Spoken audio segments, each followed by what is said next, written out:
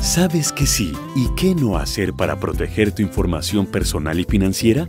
Un tema tan importante para ti merece ser explicado. Por eso, te invitamos a participar en nuestra charla virtual sobre protección de la información el próximo miércoles 23 de septiembre a las 4 de la tarde. Contaremos con la participación de José Alberto Montoya, gerente de gobierno y estrategia de seguridad corporativa de Bancolombia. Podrás acceder desde cualquier dispositivo y de forma gratuita ingresando a nuestro canal de YouTube.